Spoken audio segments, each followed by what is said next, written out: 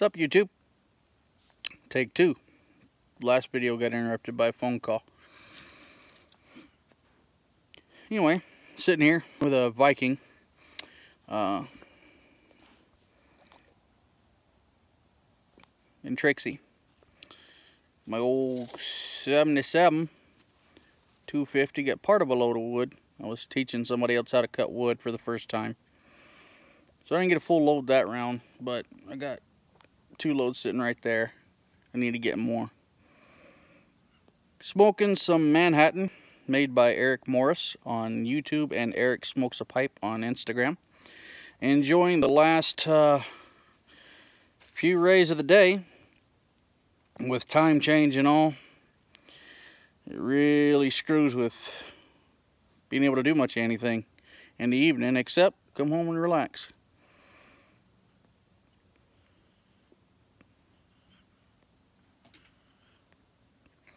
That and I've been dealing with uh, some sleep issues so I really don't feel like doing much anything lately.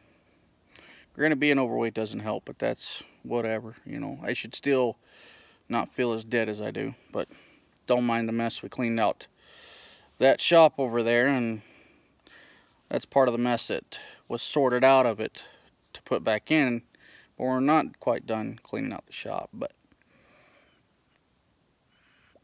Ah.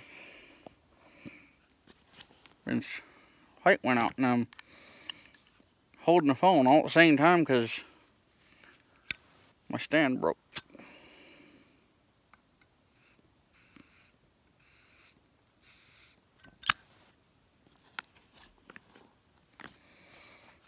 There we go.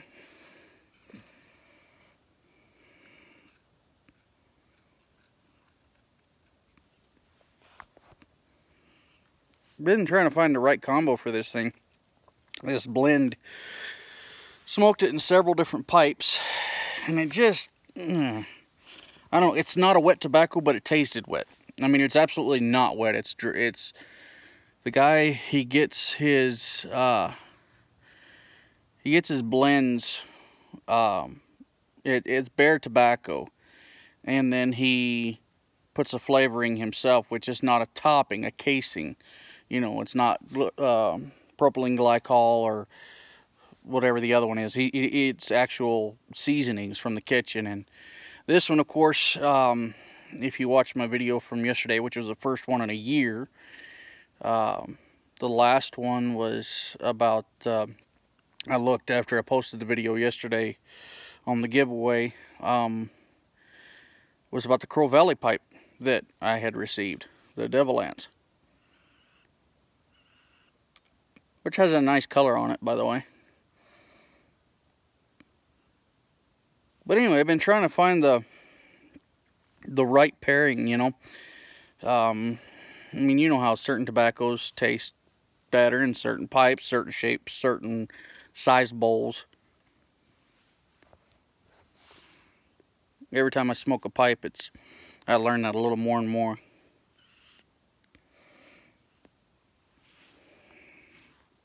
As I said yesterday, I've been around, I've been watching videos um, for a while. I've just been lurking. Haven't been doing a whole lot of, uh, uh, of course I haven't put a video up, but I've been doing a lot of lurking and watching. Enjoying the last rays of the day.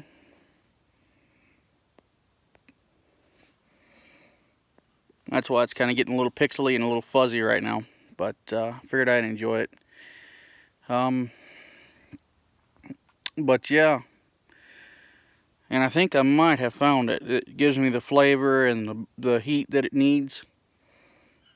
It's a really, really cool, it's like an overly cool smoking blend. Which, I don't know if there is such a thing but it, you can't, it smokes so cool it almost tastes like not even flavored smoke because it smokes so cool.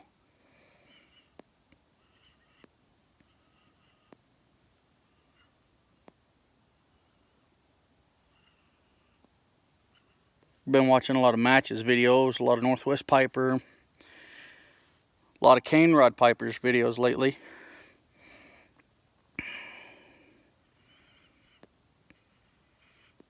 But, yeah, I think I found it, and I think I've already went on my pipe. Been watching how Matches smokes his pipe, and how, and I've been trying to catch how he loads it, and I think I've got his cadence figured out, because the man can go through a tin of tobacco inside of two weeks. In a full bowl inside of 30 minutes, where normally it takes me 45 to an hour. And I don't even get all smoke because it goes nasty at the end. But I think I figured out his cadence. Because I tried it before and I'd fry my tongue. But I think I've got it figured out to where I can load the bowl, smoke it, and not fry my tongue. Because you can only see the air coming through his pipe. Mine, you can't. They're packed too tight. I think that was the key. I was packing them way too tight. And this one's about out. I've been smoking it for about 20 minutes. Of course, it's a, you know, a really small bowl. There's not a whole lot on these Vikings, but anyway. So I thought I'd just pop on, say what's up, and uh, try to get back into the swing of making this videos again. Uh, can't guarantee how often I'll be on, how long there'll be space between, because it seems like with everybody, as with everybody, life tends to get in the way, and life happens, and but that's just what it is. And I want to say happy anniversary to uh, Derek Tant, if he sees this. And then also uh, ha happy anniversary to Cisco. Uh, it's his, both of their wedding anniversaries today. And so happy anniversary, fellas, and uh, to your brides. And uh, wish you many, many, many more years. Cisco's just getting started. He's on year three. Of course, there's people that say I'm just getting started and I'm on year 13. But um, it don't seem like I've been married 13 years. But anyway, um, uh, I guess that's about all I got for today, guys. Uh, we'll see you next round. You guys take her easy. Have a good one.